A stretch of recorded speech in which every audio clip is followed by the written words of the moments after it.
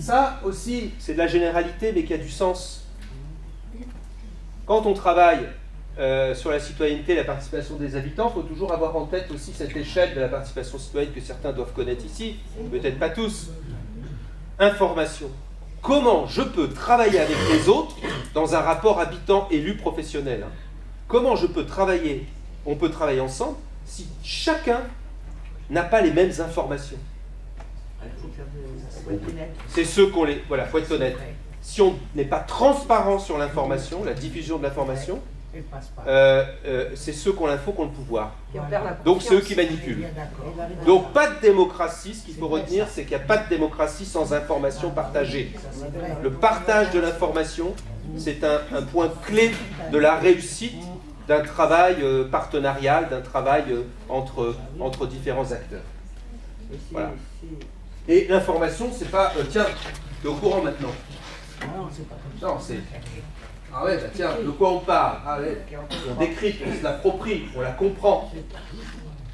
il n'y a qu'à ce, moyen-là, avec ce moyen-là, qu'on peut être euh, effectivement éclairé et capable d'apporter euh, un avis dans la discussion. La consultation, c'est aussi une autre façon de, recueillir un avis, mais c'est plus individuel. C'est le référendum, le questionnaire.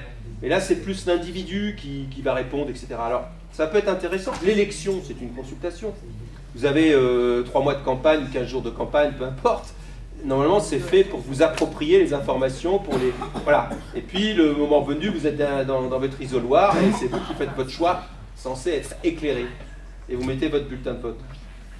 Donc, la consultation, ça peut être intéressant pour avoir un avis à un moment donné, euh, mais ça veut dire qu'avant, il y a tout un travail de d'information et d'appropriation de l'information. Concertation. Concertation, c'est encore euh, un, petit peu plus intéressant. Ça signifie que, euh, évidemment, on partage d'infos, etc., mais qu'en plus, on va travailler collectivement cette fois et qu'on va pouvoir faire des scénarios, avantages, inconvénients, etc. Moi, j'ai fait beaucoup de concertations avec des habitants dans le quartier pour réfléchir à des projets euh, d'aménagement, à des projets aussi de, de, développement social, etc. etc ça oblige celui qui l'organise à tenir compte euh, des propositions.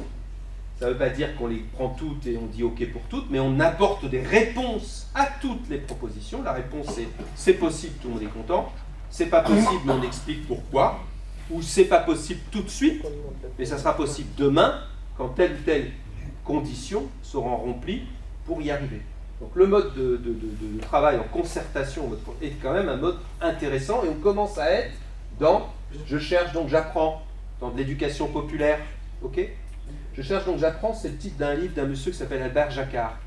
Peut-être vous connaissez, ah un généticien de renom, qui a beaucoup travaillé contre la lutte contre le racisme, etc. Et il y a plein de petits bouquins qui s'appellent Je cherche donc j'apprends. Je trouve que quand on travaille ensemble et qu'on réfléchit ensemble, ben, on apprend évidemment beaucoup. Et enfin, co-élaboration, co-coopération, co-construction, co-gestion. J'ai parlé de mon projet de maison de quartier, là, co-géré, etc on peut aller jusque-là.